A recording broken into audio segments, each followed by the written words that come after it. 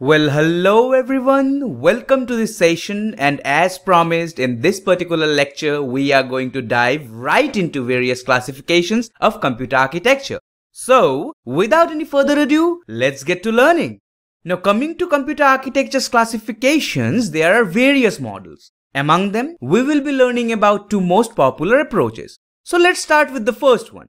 Computer architecture is broadly classified into specifically two categories von Neumann architecture and non-von Neumann architecture. Now von Neumann machines have the following characteristics. It has three basic hardware subsystems, the CPU, the main memory and the IO system. Moreover, it must be a stored program computer. That means the main memory system holds the program which controls the computer operation and the computer can manipulate its own program more or less. Also, it can do the same to any other data stored inside the memory. Furthermore, it carries out instructions sequentially so the CPU appears to execute one operation at a time. Well, the major debate has always been about having a single path between the main memory and the processor proposed by this very architecture. Now already in our previous discussion, we came to know about von Neumann's professorship at Princeton University and that is the reason why this architecture was also referred to as Princeton architecture. Now people from Harvard University proposed another model which adopted most of the features proposed in the Princeton architecture except for the fact they used two different memory units and thus pioneered parallelism. This is popularly known as Harvard architecture. Let's try to understand the need of it. First of all, systems having pure von Neumann architecture stores the instructions and the data in the same memory unit.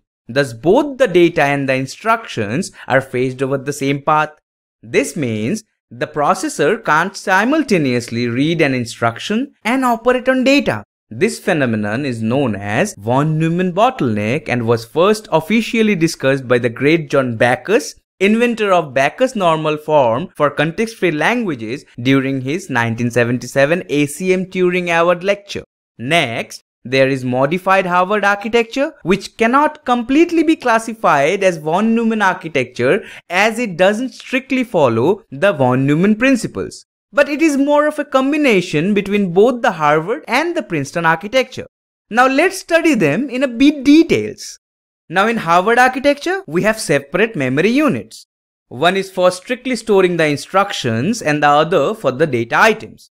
This way, the processor can both read an instruction and perform data memory access at the same time. Therefore, computers belonging to this architecture family are faster because instruction fetches and data accesses are not competing for the single memory pathway anymore.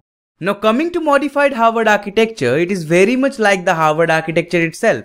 However, it relaxes the strict division of instruction memory and data memory. Here, the processor is accompanied by a small yet fast memory storage called cache. When the processor is executing from the cache, it acts as a pure Harvard architecture. And when it is accessing from the backing memory, it acts like a pure von Neumann machine. This modification is widespread in modern processors. So this was the first approach of classification of computer architecture. Let's move on to the next one. In this model, computer architectures are classified by a variety of characteristics including the number of processors, the number of programs they can execute, and the memory structures being used. The first group is SISD, that is Single Instruction Stream, Single Data Stream. The von Neumann architecture belongs to this specific category. SISD computers have one CPU that executes one instructions at a time hence single instruction stream and fetches and stores one item of data at a time hence single data stream. The next group is SIMD that is single instruction stream multiple data stream. Processor array falls into this category. SIMD machines have a control unit that operates like a von Neumann machine that executes a single instruction stream but they have more than one ALUs the control unit generates the control signals for all the ALUs which execute the same operation on different set of data items, generally in lock steps, hence multiple data streams. The next group of computers are MISD, multiple instruction streams, single data stream. Logically, machine of this class would execute various different programs on the same data items. This group doesn't have any particular practical implementation. Nonetheless, some machines belonging to the next category can be used in this manner. Alright, the next and the final type is MIMD, multiple instruction streams, multiple data streams machines. These are also known as multiprocessors. These are comprised of more than one independent processors and each one of them can execute a different set of instructions. Hence, multiple instruction streams on its own set of data, hence multiple data streams. Now this classification was proposed by Michael J. Flynn in 1966.